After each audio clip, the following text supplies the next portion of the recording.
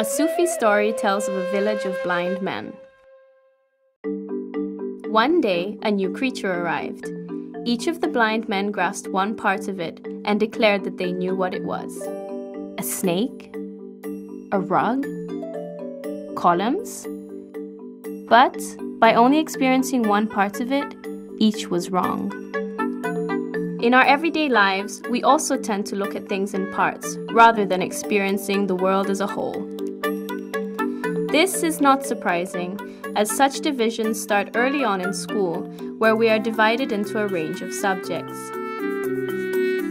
Yet, the world is much more complex, and if we are to understand its complexity, we need to think about the greater picture. We have to think in systems. Let's illustrate this with a universal example.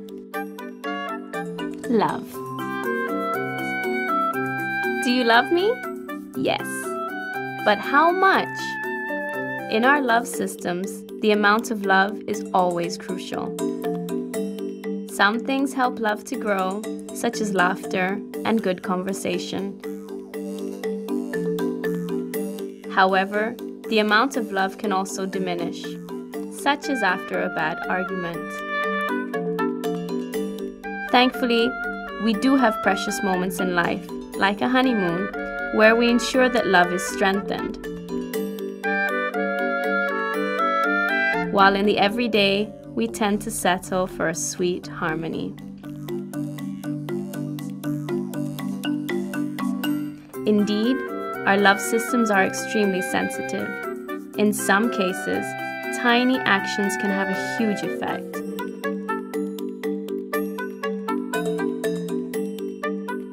While others take some time to manifest.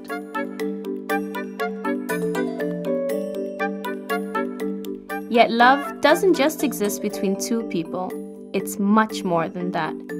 Love also exists between brothers and sisters, kids and parents, within family circles, and also among friends and wider communities.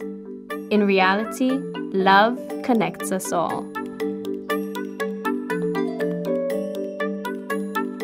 However, we often damage love by repeating the same mistakes and not recognizing unintended consequences.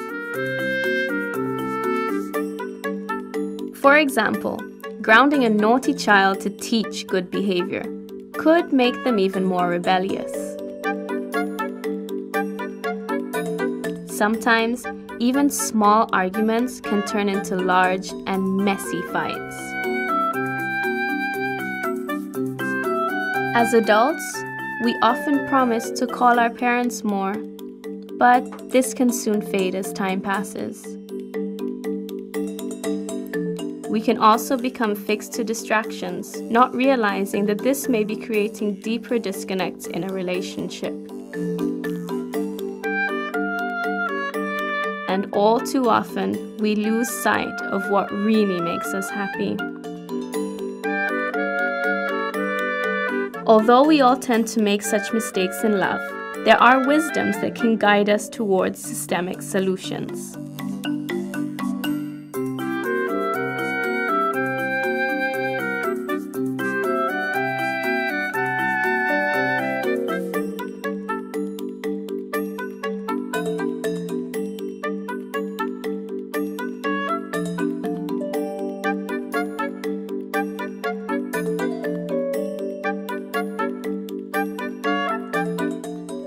So, why don't we use such wisdoms to understand more complex systems and not only love?